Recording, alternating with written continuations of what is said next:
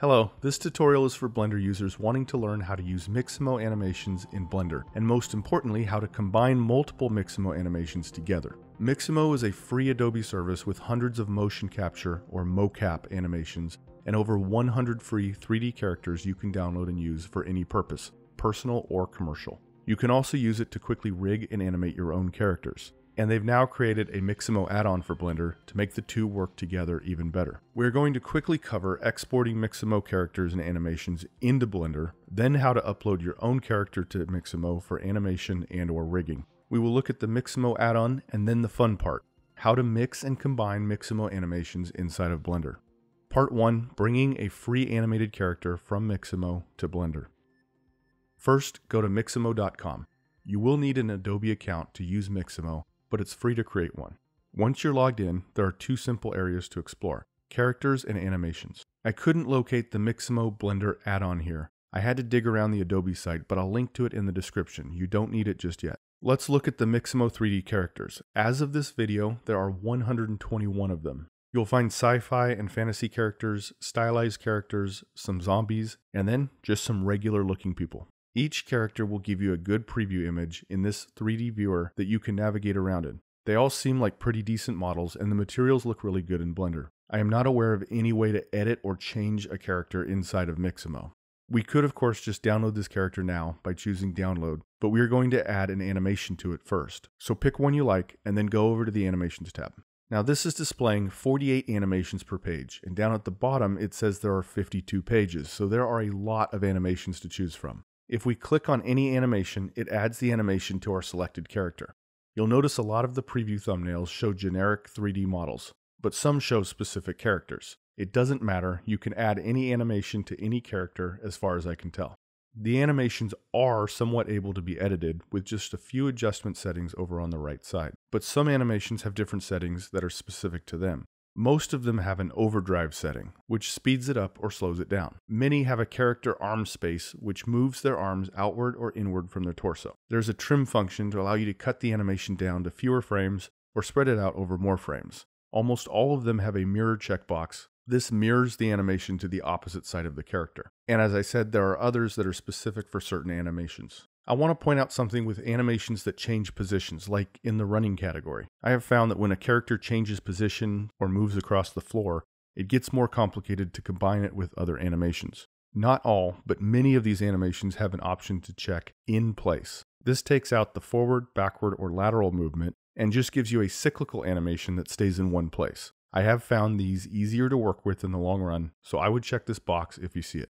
I'll pick this animation and go to download. When we choose download, we have options. We can choose different types of FBX files. I don't really know the differences, so I just leave it on the default. There's also a DAE file option. We can choose how many frames per second we want the animation to be. There's an option for keyframe reduction with a choice of uniform or non-uniform. I can only assume this does what it sounds like and reduces the amount of keyframes in the animation, but I haven't tried it.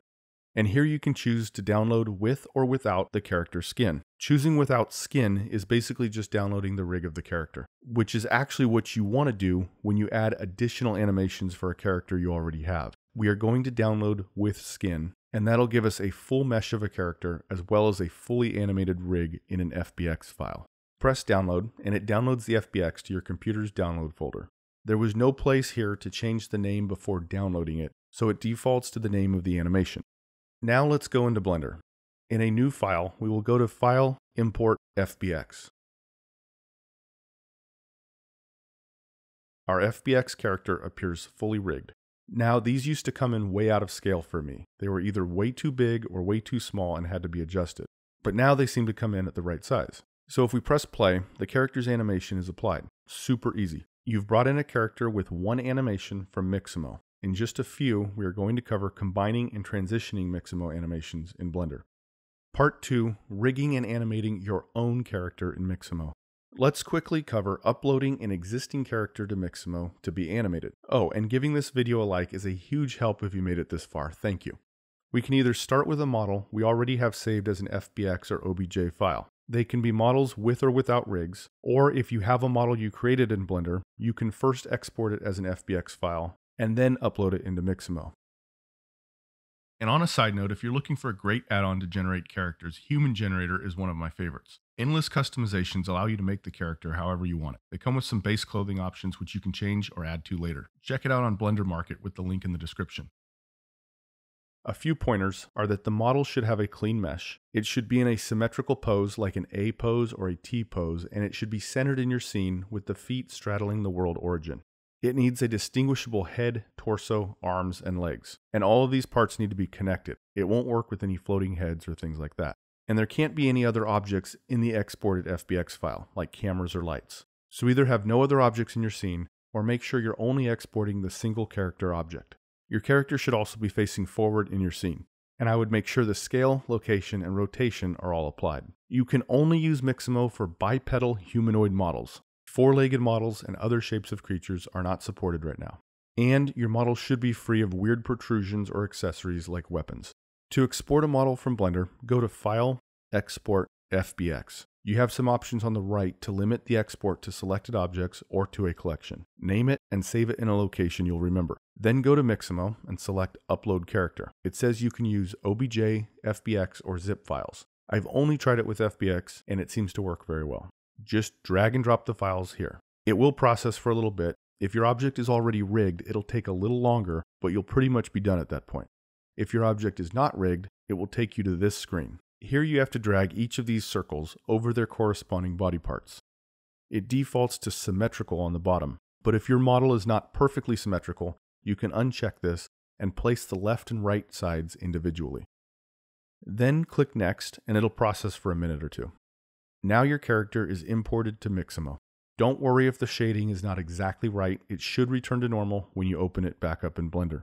And now we can just do what we did in the first part add an animation, export it as an FBX, then import the FBX back into Blender. When the character comes in, you'll see it has a new rig. The rig is pretty good, but there's no IK. That's one area the Mixamo add-on can help. So let's look at that next. Part 3, the Mixamo Blender add-on. The Mixamo add-on was hard to find on Adobe's site, so I included a link to it in the description. It installs just like any other add-on N Blender. Go to Preferences, install the zip file, and check the box to turn it on. Its controls are found by pressing in to open the sidebar. I feel like the add-on could do more than it does, but it can be useful. If you select a rig that you brought in from Mixamo, you can choose Create Control Rig. This adds a more useful rig. If you go into pose mode, you'll find the rig now has IK, or inverse kinematics. So this means we can move it around more intuitively. And down here, we can snap either the frame or the entire animation from IK to FK and vice versa. And once we combine all our animations, the bake animation feature will be useful. If you bring in multiple Mixamo animated rigs, you can quickly apply animations from one to another by selecting the rig you want to update. Then go to Source Skeleton and choose the rig you want to steal the animation from. Click Apply Animation to Control Rig, and it takes the animation from the source rig and puts it onto this one. Be careful with the Zero Out Rig button. That removes all the animation from the rig. So there's just a quick overview of the add-on, but I think the next section is where the magic really happens. Part 4. Combining multiple Mixamo animations in Blender. And now, the really fun part. Let's combine multiple Mixamo animations. We are going to use Blender's Nonlinear Animation, or NLA editor for this. This isn't a full tutorial on the NLA editor. I'm just going to show you the basics of what you need to do this. But the NLA editor is a powerful tool worth learning. Let's download a handful of animations we want to combine. Go back to Mixamo. Mixamo saves the last character you've used, but only the last character. Once you switch characters, there's no way to go back to a custom character you had uploaded earlier. You would have to re-upload it. I haven't tested this, but I've been warned that you should always download an animation with the character you're going to use it with selected in Mixamo.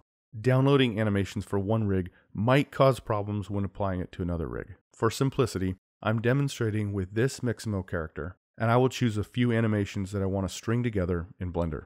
I'll download the first one with the skin to bring the entire character into Blender. For every animation after that, I only need the animated rig, so I will download those ones without the skin. It'll also go faster this way. Now with the three animations saved, let's go to a new Blender file and go to File, Import, FBX. We can select all three FBX files and import them at once. We can spread the three rigs out to separate them. If we press play, we see all the rigs are animated with the three animations we chose. Let's raise the timeline up just a little and change it to a dope sheet.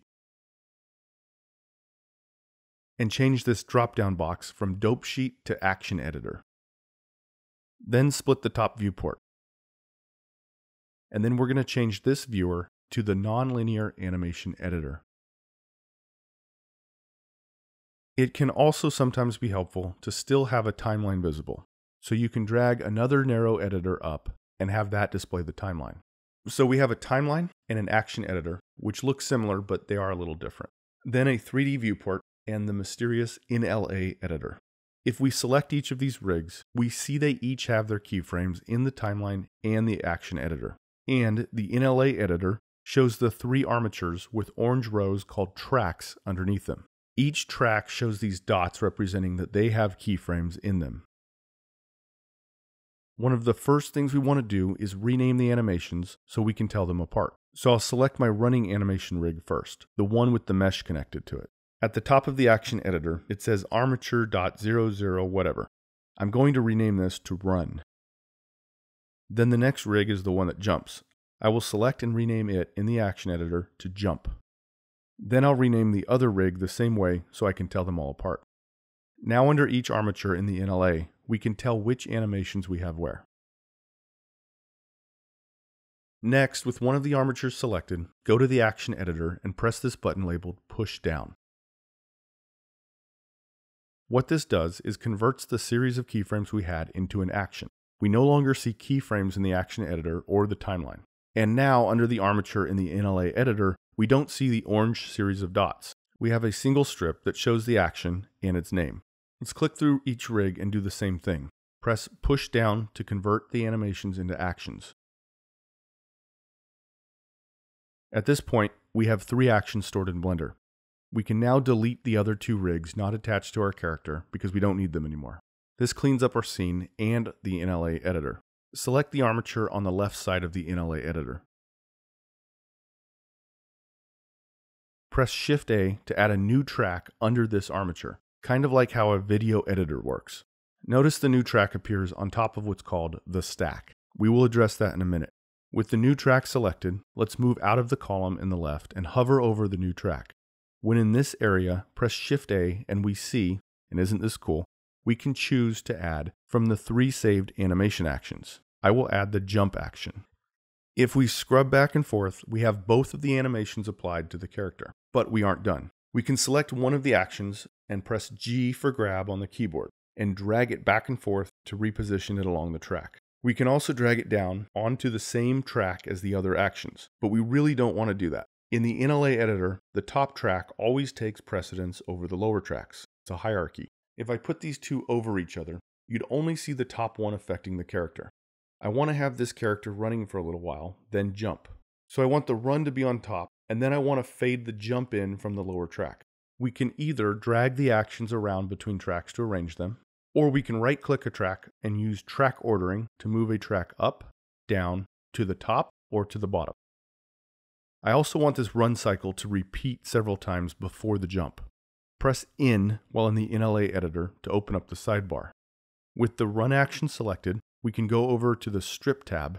This has all sorts of options, but expanding Action Clip will give us an option for repeat.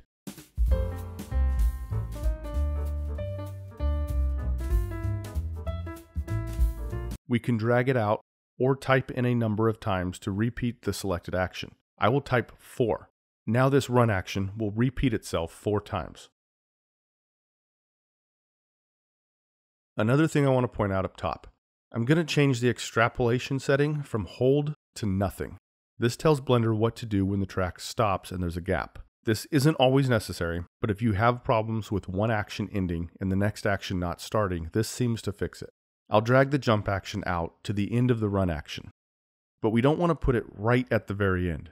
We want some overlap so there can be a smooth transition. Otherwise, it won't look natural at all. How much overlap you should use is something you'll have to just play around with, and it can be changed later. So now we need to blend these two animations together. As it's set up now, if we go over it, we see the run action is in control all the way until its end. Then it jumps straight into the jump action, which is completely ignored until the run action is over. So we will select the top action, and under Active Strip in the sidebar, we have Blend Options, which we can set manually. But I have found just selecting Auto Blend works pretty well. We can also click on the lower action and turn Auto Blend on there too. Now we have a really smooth transition between the two animations. And what I want to happen next is to have him run for a little longer after the jump. So let's click somewhere in the track list on the left and press Shift A to add a new track. It comes in at the top, but I want it at the bottom. So I'll right click, track ordering to bottom. You can double click to rename the tracks if you want. I'll select the new track at the bottom, go into the area on the right and press Shift A, and I'll add another instance of the run animation. I'll go to the repeat setting and have this one cycle four more times as well. I'll drag it under the jump animation for a little bit of overlap and turn on auto blend. If your animation doesn't transition, try changing the jump extrapolation to nothing instead of hold, like I mentioned earlier. Now we have our character running for four cycles, then a jump, and then running again. I'll go a little bit quicker this time, and I'll add in the character's roll. I'll click in the track editor, Shift A to add a new track. Right click, track order, to bottom. Shift A in the area on the right, I'll add the roll action and place it on the bottom track with a little bit of overlap. Check on auto blend. I'll add another track, move it to the bottom, and then I'll add one more run animation action.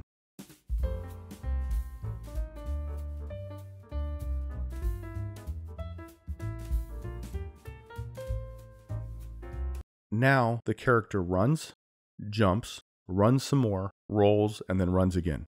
I'll add some repeat to the run and extend the frames out in the timeline. There are a lot of other controls in the NLA Animator, but they're for a more comprehensive tutorial. When you're all done with blending animations together, you can use the Mixamo add-on to bake all of this.